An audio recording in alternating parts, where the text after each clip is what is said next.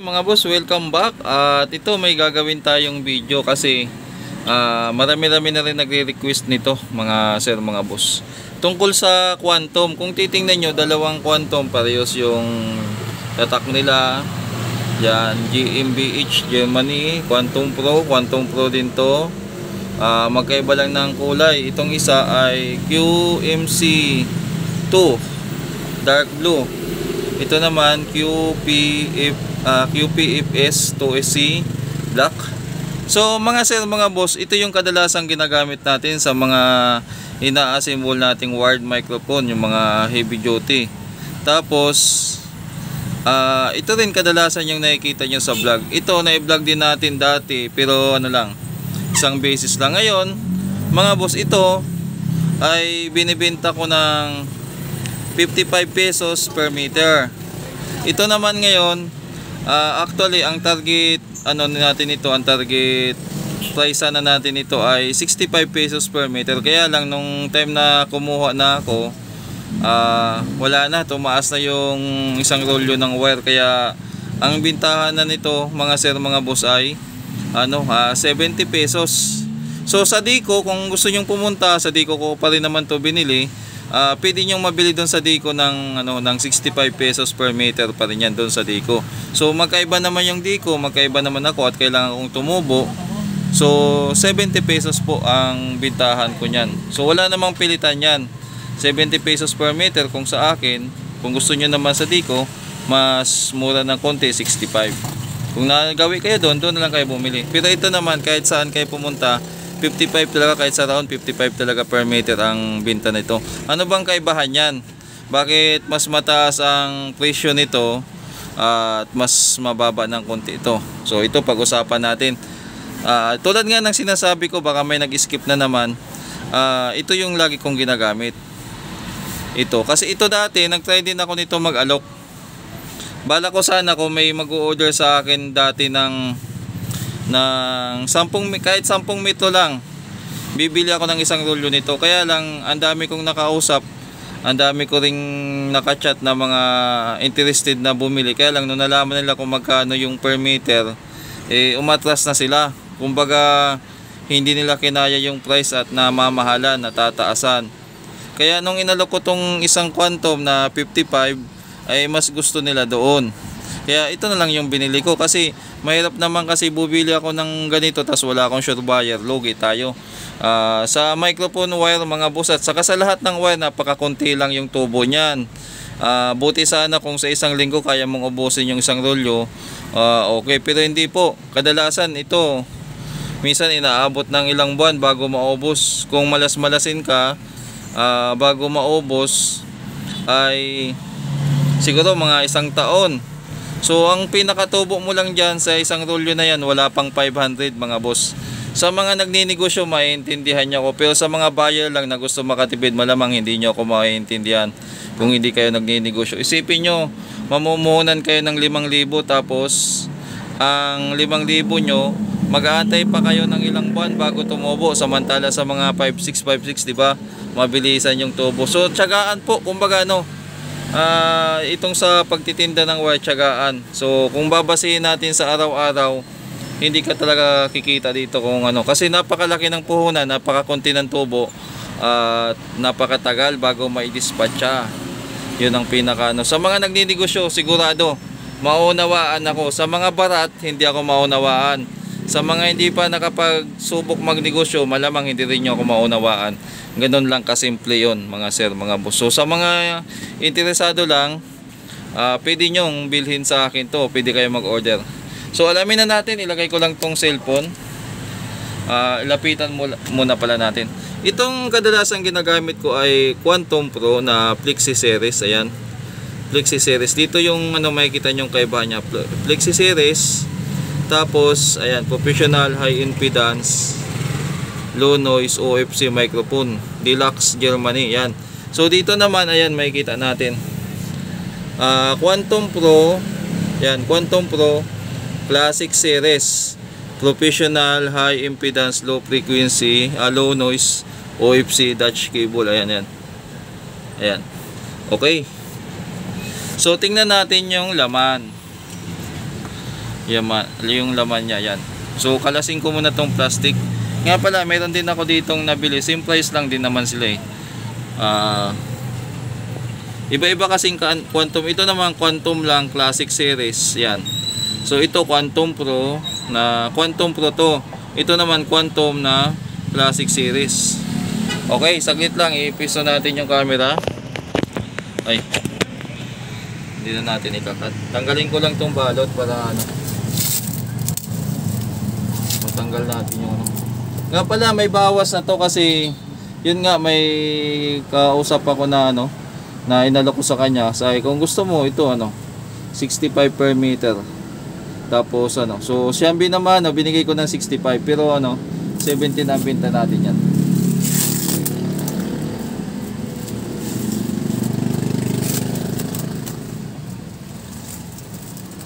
Siguro kung marami yan, pwede kung mga marami nang bili, pwede natin babaan na konti. Ah, ubos lang. Ito 55. Yan. So lapit tayo dito, lapit. Gawa tayo ng ano, gawa tayo ng video. Ito yung Quantum Pro na Flexi series. Yan. Balatan natin.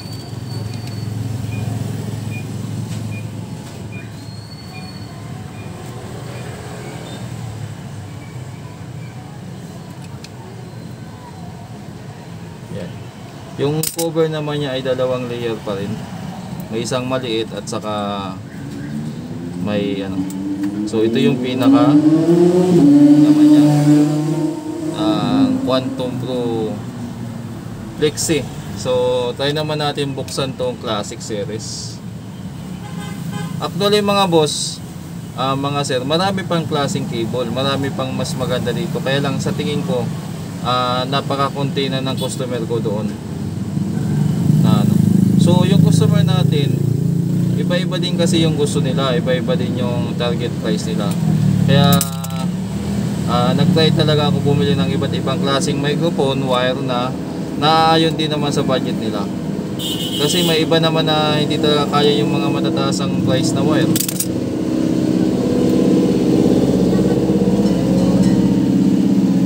So ito yung classic series na in terms of hibla halos mas lamang to ng konti. Tapos ang hibla niya ay coated na.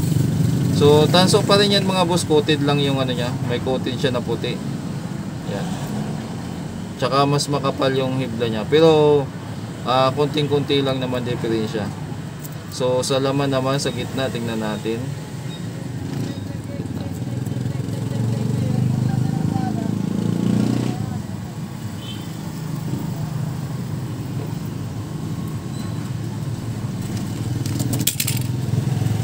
Mahirap kasi magbili ng ano, isang rolyo nito eh. Hindi ko kakayanin bumili tapos wala naman akong bayar. Yan. Sana.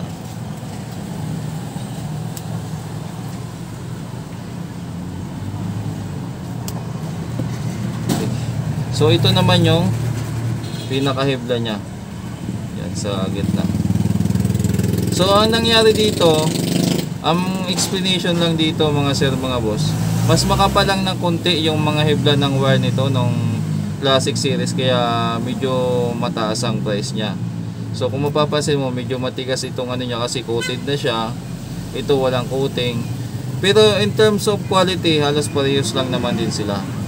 Mas maganda lang talaga ng konti ito yung classic series. Yung ano yan. Itong flexi naman kaya siguro siya ganitong design niya kasi more on mas flexible siya pero ano ah, nasa inyo na yan kung alin dyan yung gusto nyo. Ngayon buksan naman natin tong isa. Meron pa tayo ditong wire na isa naman.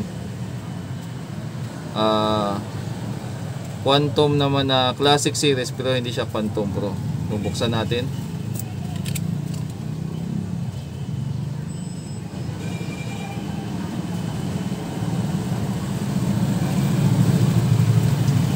Okay.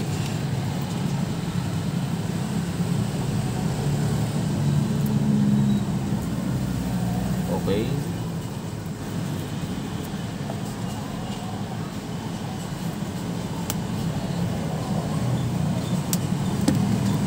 So, identical sila. Parehas lang din talaga sila ng ano. Itong Quantum Quantum Classic at saka Quantum Pro na Pixie halo same lang din talaga sila ng laman. Ah, lamang lang talaga ng konti itong ano, ah, Quantum Pro na Classic Classic series. So, sa dalawang ito ay hindi na ako nagtataka kung bakit same lang din yung kalidad ng laman niya. Gawa ng parehas lang din naman ang selling price nila at saka yung pinaka rolyo nila mga sir mga boss. So kuha tayo, may isa pa tayo ditong wire na ginagamit din. Ah, Broadway naman, kunin natin yung Broadway. Yan.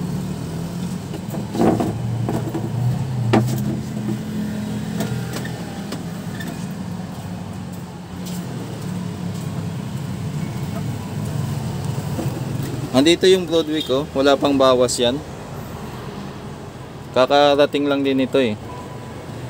So ang dami ko ng microphone wire, bali tatlong klase na. Ito naman mabenta to dito sa mga walk-in. Yung mga gusto magpapalit ng wire, tapos ayaw gumasos ng malaki. Ito yung ginagamit nila. Asa na ba yung balat nito? Ito ito. Yan.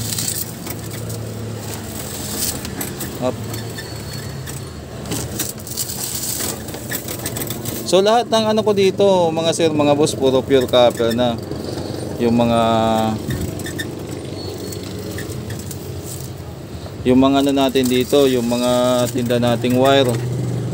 Puro pure copper po 'yan. Wala tayong tinitinda ditong ano. So lagay natin diyan.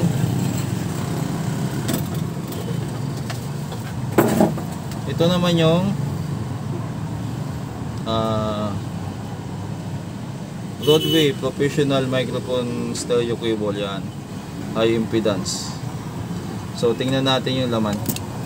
Ito naman po ay 40 pesos per meter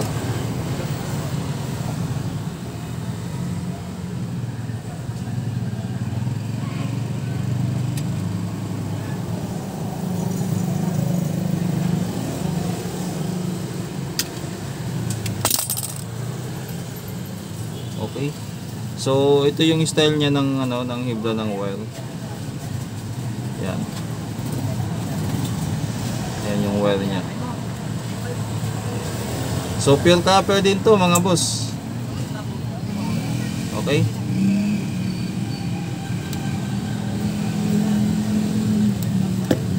Ayan. So, compare dito sa dalawa, mas kaunti yung hibla niya. Sa bagay, mas mura naman kasi ito kaya tama lang din naman yung ano. ah very reasonable naman talaga yung tawag dito yung pinaka price niya. Sa mga customer ko naman na walk-in, mabenta to kasi mas mura eh. Ah, mas gusto nila to. Pwede naman to sa mga audio cable o kaya sa microphone. So ito lahat pwede sa audio cable at saka sa microphone. Yan. So meron tayong tatlong klase pero apat na pirasong tatlong klase kasi itong quantum na quantum lang na classic tapos itong quantum pro na flexi magkaparehas lang talaga. Ah, compare dito sa ano sa quantum na quantum pro na classic series. So in terms of ranking kung lalagyan natin ng ranking yan lalagyan natin ng ranking siguro ganito Number 1 tong ano, number 1 to ditong Quantum Pro na Classic Series. Itong dalawa naman tie sa ano sa second place. Tapos third place naman tong Broadway. So hindi naman diyan ano eh. Hindi naman sabihin natin na ay pangit yung isa kasi magkaiba naman silang presyo. Pag pag ganito nangyari, halimbawa parehas ah, 70 pesos per meter yung selling nila tapos ah, mas mababa ang kalidad ng isa, di yun ang ano, unfair. Pero sa akin, sakto lang din yan. Ah, kung ano yung price na gusto nyo, yun lang din yung madideserve yung ano, quality. So, deserve mo yung quality ayon sa presyo. So, kung afford nyo yung ganitong ano, ah, wire, edi mas deserve mo yung mas magandang quality. So, kung dito naman yung afford mo lang sa tig 55, edi okay lang din yun. Ah, pa- sakto lang din naman sa ginastos mo, hindi ka naman logi. Ganon din naman dito sa tig po 40 pesos na ano na tawag dito na Broadway. So, in general, halos lahat yan ayos naman. Kunti-kunti lang naman ang nilamang nila sa isa't isa. So, depende na yan sa budget nyo kung alin yung bibilhin nyo, mga sir, mga boss. So, ako naman, nag-invest lang talaga dito ng ano sa microphone cable, gawa ng malay mo, baka December marami magpagawa ng microphone. At hindi naman lahat ng tao, pare-pareho yung budget. At napapansin ko talaga mas maraming kumukuha sa Phantom Pro na Flexi Series.